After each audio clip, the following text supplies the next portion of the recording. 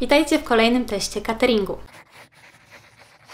Dzisiaj dla odmiany testujemy catering z kuchnią polską. Zasypaliście mnie takimi komentarzami ostatnio, żebym właśnie nie mogła znaleźć czegoś takiego. No i przejrzałam oferty, znalazłam e, dietę Smart na stronie Nice to Fit You i takową dzisiaj testuję. Mam w środku 5 posiłków, energetyczność diety to 1750 kilokalorii i powiem Wam szczerze, że dla mnie to jest już drugi dzień cateringu. A dlaczego tak wyszło? No to myślę, że po śniadaniu się na tym skupię, natomiast testujemy sobie normalnie dwa dni, także oprócz dzisiejszego zobaczycie jeszcze jeden pełen, a ja opowiem Wam jeszcze wrażenia z dnia dodatkowego. Dobra, jestem już bardzo i ciekawa, co jest w środku na dzień dzisiejszy, także zabieram się za pokazanie Wam zawartości paczki. Więc tak, na śniadanie czeka mnie granola jabłkowa z jogurtem naturalnym i ciemnymi winogronami. Na drugie śniadanie przewidziana jest kanapka razowa z ziołowym serkiem, sałatą i szynką oraz rzodkiewka. Na obiad mamy indek duszony z marchewką i groszkiem, pire ziemniaczane, surówka z białej kapusty. Pod wieczorek, z tego co widziałam, to jest to ciasto zebra i kolacja. Kolacja jest konkretna, czyli kresowa zupa fasolowa z grzybami i chleb razowy. Z tego co widzicie tutaj, nie mamy wyszczególnionego dokładnego składu. Jest napisane, że lista alergenów i składników dostępna jest na ich stronie internetowej i to jest dla mnie duży minus, bo ja mam nietolerancję laktozy i chciałabym mieć chociaż adnotację, że na przykład takie ciasto zawiera mleko. To by mi wystarczyło.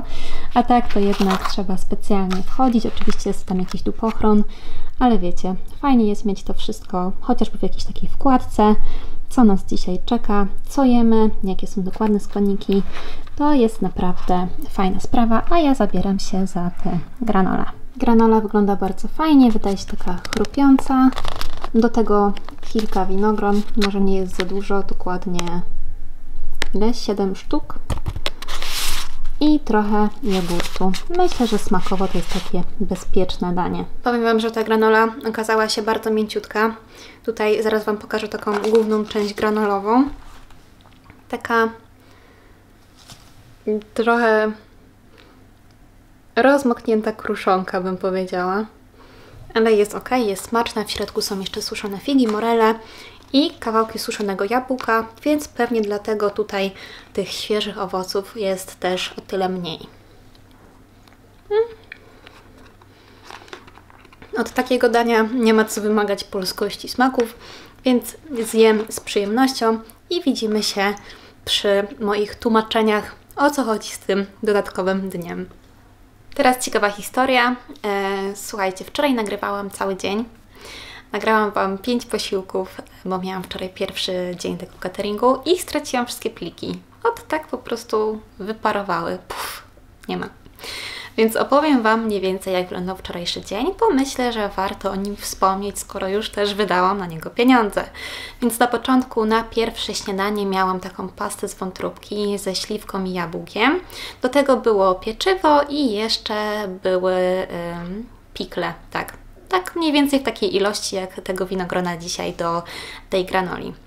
E, to wszystko było bardzo smaczne. Mm, ten mus z wątróbki smakował jak taki normalny pasztet, wiecie, no wszystko spoko naprawdę.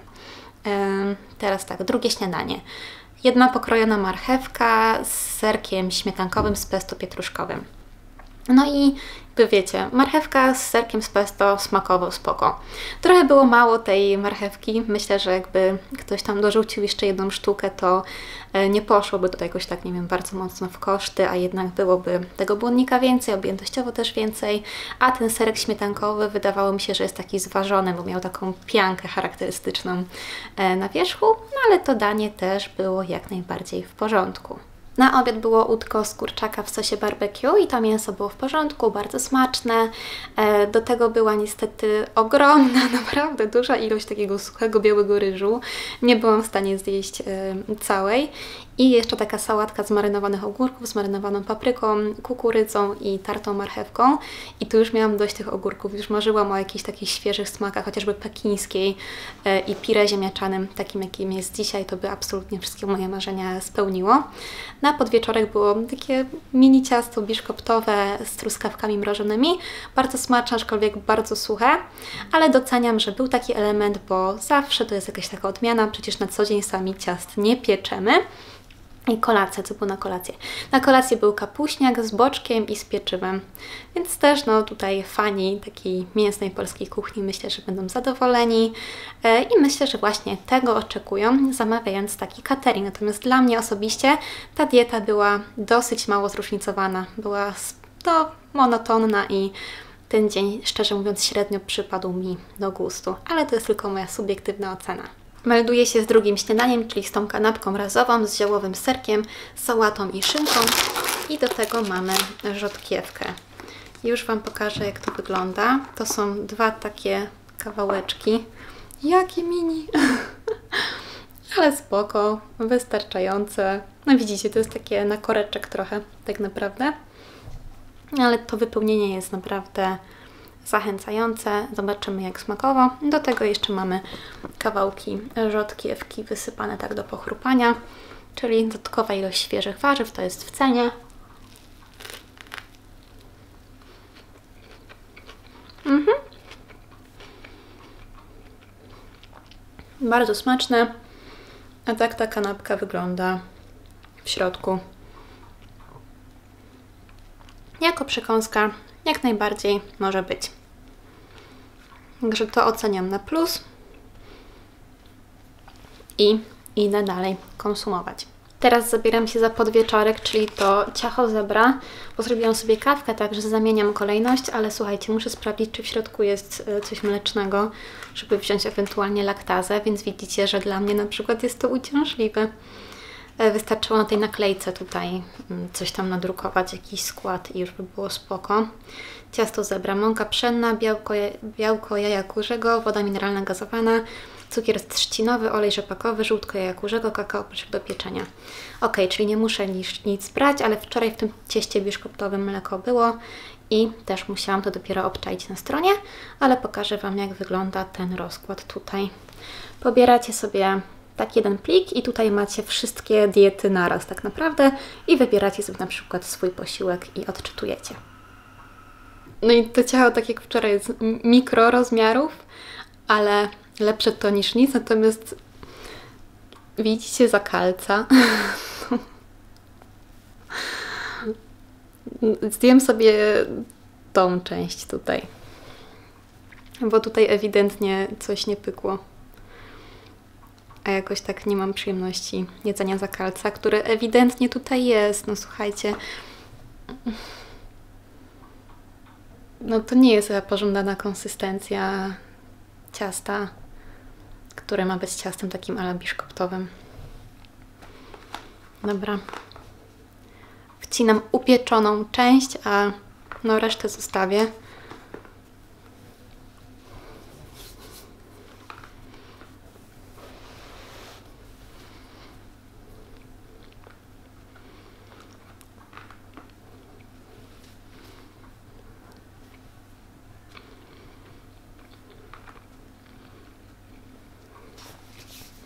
Bardzo smaczne. Taki domowy smak. Mm, też moja mama ma taki przepis. To się nazywa u nas chyba metrowiec w domu.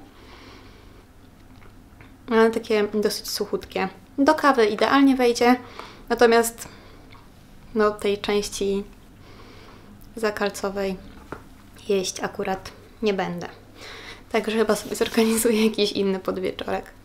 Uda mi się jeszcze nakręcić obiad przy świetle dziennym, więc tak to wygląda. I tutaj jest śmietanka 18% i mleko, także też musiałam to sprawdzić. Do tego surówka, taki naprawdę spoko domowy obiadek. Wcinam i dam Wam znać jak wrażenie. Wygląda naprawdę fajnie, zobaczmy tego indyka.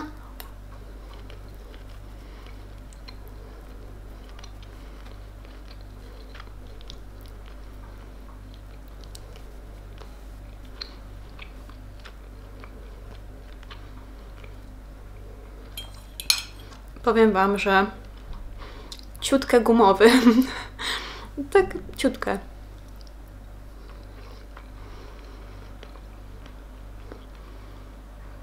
Z przypraw to tu jest tylko sól i pieprz, jak na moje kubki smakowe. Bo nie smakuje to niczym. Smakuje to dodatkiem groszku i marchewki. Serio, sól, pieprz i ciutkę gumowy indyk. Szału nie ma, ale jest ok. No, powiem Wam, że te ziemniaki są trzy razy smaczniejsze niż to mięso. Autentyczne. Pire ziemniaczane 10 na 10. Tak. To jest mój ulubiony element tego obiadu. Mm, jeszcze suróweczka.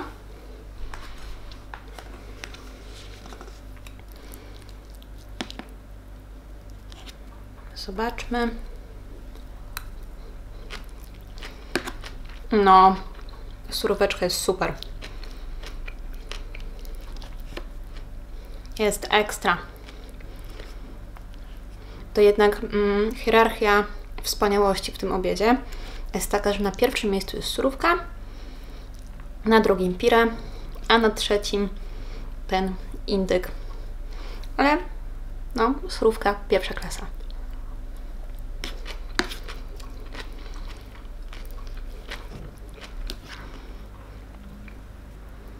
Czas na ostatni posiłek, czyli kresową zupę fasolową z grzybami. Myślę, że ona bankowo jest zapielona śmietaną, więc też się przygotuje. Do tego jest pieczywo. Całość ma około 400 kilokalorii. I wrócę do Was po przegrzaniu z moimi wrażeniami. Zobaczymy. Słuchajcie, pachnie przepięknie i wygląda w ten sposób. Taka domowa zupka. Zaraz Wam powiem, co dokładnie jest w środku. I jeśli chodzi o składniki, to mamy tutaj podgrzybki chlebrazowe, fasolę białą, marchew, śmietankę 18%, wywar warzywny, cebulę białą, masło 82% tłuszczu, czomber, liść laurowy, majeranek, pieprz czarny, sól, ziele angielskie i olej rzepakowy. Czyli taka, no, domowa zupka z tych konkretniejszych. Słuchajcie, pachnie tak, że smakowo, no, musi być super. Jest naprawdę ok. Jest bardzo smaczna. To będzie bardzo przyjemny posiłek. Mam do tego jeszcze chlebuś, także zaraz go sobie tutaj dorzucę. Mhm. Pycha. Naprawdę polecam. Pod kątem smakowym jest. Moja mama dalej robi lepszą, ok, jeżeli mówimy o takich domowych smakach, ale jest naprawdę spoko. Podsumowując dzień pierwszy, śniadanie, ta granola trochę rozmiękła, trochę mało świeżych owoców, ale jak najbardziej w porządku. E, ta kanapeczka na drugie śniadanie była ok. Obiad, ten indyk, góra tego indyka totalnie bez smaku i gumowego, to nie było może coś najlepszego na świecie. E, surówka i ziemniaki ok. Podwieczorek, ten zakalec w 3 czwarte kawałka ciasta, no może też to nie było jakiś super. E, I kolacja bardzo smaczna, aczkolwiek nie czuję się teraz najlżej, mam być szczera, po połączeniu e, grzybów z fasolą, ale taką też mam charakterystykę kuchni polskiej, więc myślę, że fani, którzy jedzą tak na co dzień, nie odczują tego tak bardzo negatywnie jak ja, która na co dzień po prostu je w troszeczkę inny sposób, e, bez śmietany, bez dużej ilości masła połączonego właśnie z fasolą i wspomnianymi grzybami. Także widzimy się w kolejnym dniu. Dla Was upłynie kilka sekund, a dla mnie miną aż 3 dni. Wiecie co, tak jeszcze na gorąco, zanim przejdziemy do kolejnego dnia, to tak sobie usmysłowiłam, jak bardzo niski był food cost tych wszystkich produktów, które dzisiaj zostały użyte do przygotowania tego dnia. No i jak tak sobie uzmysłowicie, ile kosztowały te mm, składniki, tak pojedynczo, to to 60 zł dziennie w tym wypadku, w wypadku tej diety, wydaje mi się trochę wygórowaną stawką, jeżeli mam być szczera. Witajcie w kolejnym dniu, ale powiem Wam, że odpakowałam sobie już zawartość na dzisiaj, zawartość torby i nie chce mi się wcale tego testować, bo jestem na maksa rozczarowana zawartością. E, I zaraz Wam pokażę, co dokładnie tutaj mam. Na śniadanie pieczywo razowe z kiełbasą krakowską, serkiem chrzanowym i warzywami. No to sobie zjem to pieczywo z tym serkiem i z dwoma kawałkami pomidora i z kawałkami ogórka. E, tą kiełbasę sobie daruję, ale no jak ktoś lubi, to nie ma problemu. Ale przypominam, że to ma być catering z tradycyjną kuchnią domową, jak u mamy. Drugie śniadanie sałatka z fetą sos vinaigrette. W ogóle o co chodzi? Co to ma do rzeczy? I tu mamy ze dwa pomidorki koktajlowe, kawałek papryki, ogórka, trochę cebuli i fetę i sos vinaigrette. Totalnie mi się to nie maczuje z tym, co zamawiałam. Na obiad mamy pełnoziarniste spaghetti bolognese z mozzarellą. No to jeszcze, ale to wygląda strasznie topornie. Podpłynęło w ogóle wodą i tak dalej. Ale wiadomo, że no to jest nieuniknione. Chociaż no wiecie, to też nie jest jakaś taka kuchnia kurcza domowa jak u mamy wcale. No spaghetti bolognese to jest posiłek, który robimy jak nie wiemy co zjeść, to jest proste i tanie. Na podwieczorek mamy ciasto czekoladowe. I na kolację przypominam tradycyjna kuchnia polska, czyli humus, chleb żytni świeże warzywa. E, tego humusu jest tutaj bardzo dużo. Myślę, że nawet połowy go mm, nie zużyję do tej ilości chleba. Jeżeli chodzi o świeże warzywa, to znowu kawałek e, pomidorka, ogórka i roszponka. Czyli no, te składniki tutaj dzisiaj są na maksa tanie. To jest po prostu taka dieta dla mnie z perspektywy dietetyka i osoby też, która pracowała w restauracji, e, też przy układaniu menu i tak dalej. Słuchajcie, to jest po prostu taka taniocha. I za to zapłaciłam dzisiaj 60 zł i jakby nie chce mi się w ogóle tego jeść, szczerze mówiąc, bo to jest bardzo mało zróżnicowane.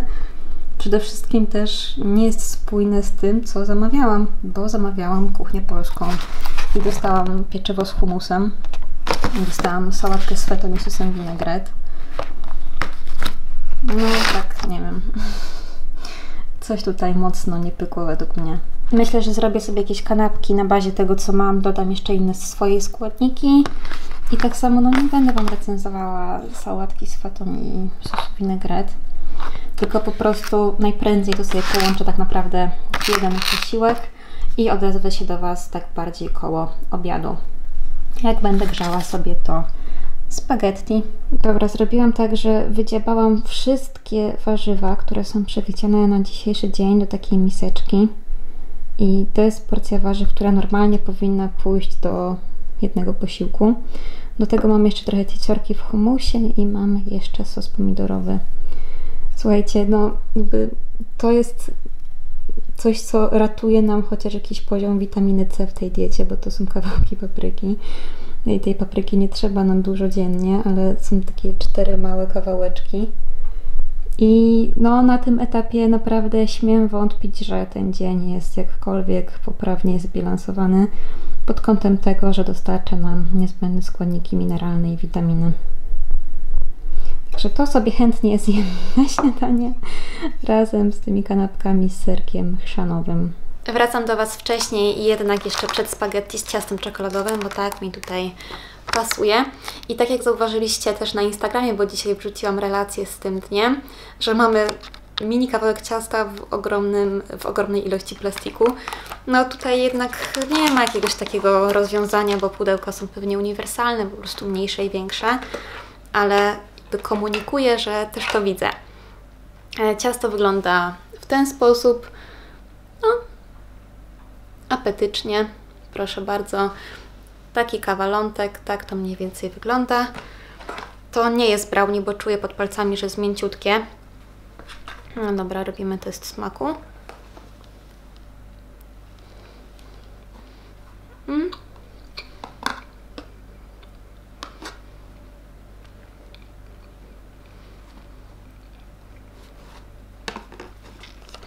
To nie miało być brownie. Mm -mm. To jest ym, za krótko trzymany murzynek, jakbym powiedziała. Bo to jest bardzo mięciutkie. No w ogóle nie ma takiej konsystencji brownie. Wiem jak Wam to pokazać. O, to jest taki biszkopcik. Te wszystkie ciasta, które miałam w tej diecie, te trzy były takie właśnie z rodzaju tych biszkoptowych. Jest oczywiście smaczne, tutaj się nie czepiam. Um, aczkolwiek, no też fajnie by było może jakiś owoc tutaj zobaczyć dzisiaj w tym menu. Nie pogardziłabym um, chociażby kawałkami jabłka do tego ciasta, czy, co, czy, czy czymś w tym rodzaju. Dziabnęłam sobie też ten humus i jest ok. Jest smaczny, nie robi jakiegoś e, szału przyprawowego. Mam wrażenie, że ktoś tutaj tak gotuje, jak wiecie, jakby mm, miał rozpiskę dokładną przepisu, ale nie próbował w ogóle tego, co przyrządza, bo tym posiłkom czegoś brakuje i na przykład y, no, ten indyk z marchewką i z groszkiem z dnia poprzedniego to po prostu było tak paskudne, że ja no później jadłam na jakieś dwa razy, bo ten indyk był żaden w smaku. No i to nie jest naprawdę nic fajnego.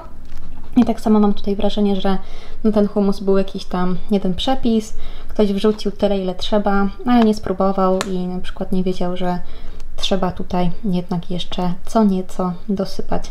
To sobie wykorzystam na kolację wieczorem. Tutaj widzicie, wygrzebałam te warzywa, bo było ich mało, tam tych warzyw już nie ma. Jakoś sobie z tego coś tam później zmontuję. Spaghetti wygląda tak, już je podgrzewam, chociaż dalej nie wiem, co spaghetti bolognese ma do kuchni polskiej. No ale zobaczmy chociaż jak smakuje i później przejdę już do podsumowania testu tego cateringu. Słuchajcie, jeszcze w kontekście tej zatrważającej ilości warzyw, to nie uwzględniłam w mojej miseczce tego liścia bazylii, więc tutaj naprostowuję sprawę. Słuchajcie, dziebnęłam sobie już tego wszystkiego i makaron jest totalnie niesłony. Nic tutaj jest nietknięte solą po prostu.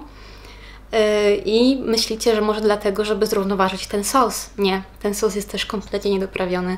Po prostu ktoś sobie sypnął ile uważał, zagotował, przelał do pojemników i elo. Nikt tego nie spróbował, mam wrażenie. To jest słodkie, owszem. I tyle. To jest woda z mięsem i pomidorami. Totalnie. Tutaj brakuje absolutnie wszystkiego. Więc nie wiem, co poszło nie tak, ale ewidentnie coś nie pykło. I dzisiejszym dniem jestem na maksa rozczarowana od momentu, kiedy rozpakowałam tą torbę. Ten dzień pierwszy, którego nie mam nagranego, był w porządku. On był po prostu mało różnorodny, ale był mniej więcej ok. E, ten dzień dla Was wczorajszy, no to ten zakalec był nieporozumieniem as well. E, I ten e, obiad, ten indyk z tą marchewką i groszkiem, to było okropne, naprawdę. To było, no, nie smakowało niczym, było rozmiękłe, takie gumowe, i żułam to, i żułam, i naprawdę to nie było absolutnie nic przyjemnego. A to nie jest zdanie z serii, no, że trzeba mieć e, niesamowite umiejętności kulinarne, żeby je przygotować, więc takie są moje wrażenia. Sami widzieliście, no, ten dzisiejszy dzień oceniam totalnie źle. Tamte wymagają poprawy, ale zaraz przejdę do takiego ogólnego podsumowania. Więc od początku uważam, że dużym plusem jest sam pomysł, że ludzie faktycznie szukają takich smaków, takich tradycyjnych, niezwydziwianych, jak to często mawiają nazywać wszystkie dietetyczne propozycje i tak dalej. Także idea jest ok, ale wszystko, co za tym idzie jakby dalej, dla mnie tutaj e, no, jest dużym minusem. Począwszy od tego, że mm, no mamy tutaj ewidentny jakiś problem z tym, że nie wszystko było dobrze doprawione, a w cateringu jednak ten smak naprawdę no, liczy się, prawda? On się tak wybija i zwracamy na niego uwagę. Po drugie, brakuje mi rozpiski składników i jeżeli nie chcemy generować dodatkowej ilości papieru, to niech to będzie na naklejkach. Dużo cateringów tak robi, że po prostu drukuje na naklejkach y, skład i nakleja na opakowanie razem z innymi informacjami, które też są tutaj zamieszczone. A taki dodatkowy PDF na stronie, no to jest według mnie trochę bez sensu. Kolejnym plusem jest na pewno to, że można sobie w tym cateringu wymieniać poszczególne posiłki, co jest ok, ja z tego nie skorzystałam, no bo zależało mi na tym, żeby ktoś losowo dobrał to za mnie. E, minusem jest to, że no, ten dzisiejszy dzień na pewno nie jest dobrze zbilansowany, bo brakuje tutaj chociażby podstawowej witaminy C. No, jakby nie sądzę, żeby była ona dostarczona e, z, tych, z tego ogromu warzyw, który mm, tam mamy, już nie mówiąc o jakichś tam kolejnych składnikach. E, a taki największy minus dla mnie to to, że ta cena jest bardzo wygórowana w stosunku do jakości, nawet nie jakości, w stosunku do ogólnie użytych składników w tej diecie. To są najprostsze mieszanki marchewki z groszkiem, e, surówka z kapusty, e, sałatka z pikli, tutaj mamy bolognese, mamy e, przez cały dzień e, pomidorki koktajlowe, kawałek ogórka, trochę roszponki, smutne paski cebuli i tyle papryki. To są bardzo tanie rzeczy, a cena tego cateringu to jest cena na poziomie cateringu Bidajet Chodakowskiej, który testowałam. Był dużo bardziej zróżnicowany, był ciekawszy i też y, był bardziej wartościowy pod kątem odżywczym chociażby. Więc tutaj według mnie taki dzień nie powinien kosztować więcej niż chociażby 35 zł, czy też maksymalnie 40, jeżeli firma też chciałaby na tym zarobić. Wydaje mi się ogólnie, że ta dieta ma duży potencjał, ale ewidentnie wziął się za jej bilansowanie ktoś, kto za bardzo nie miał na to pomysłu. I da się to odczuć. E, ja to czuję jako odbiorca, że zamawiam potrawy kuchni polskiej, jedzenie jak u mamy tradycyjne, dostaję spaghetti bolognese włoskie, mieszankę po prostu e, z serem typu feta e, i na kolację mam hummus. Więc coś tutaj nie do końca poszło zgodnie z założeniem. E, i trzeba na pewno poświęcić jeszcze trochę czasu nad tym, żeby to dopracować zarówno pod kątem pomysłów na posiłki, pod kątem zbilansowania całości diety, no i pod kątem tego, żeby te posiłki wychodziły smaczne, doprawione, dopracowane i żeby nie pakować ludziom do pojemnika zakalca, jak się widzi, że ten zakalec jest. No i to już by było na tyle, jeżeli chodzi o ten odcinek. Dajcie znać, co Wy myślicie o tym cateringu.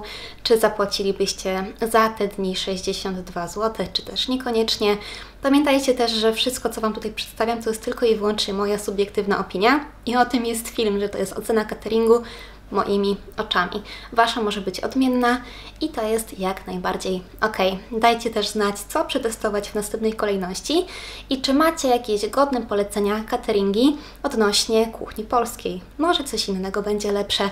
Zobaczymy, przetestuję to na pewno, a my widzimy się w kolejnym odcinku i na moim Instagramie.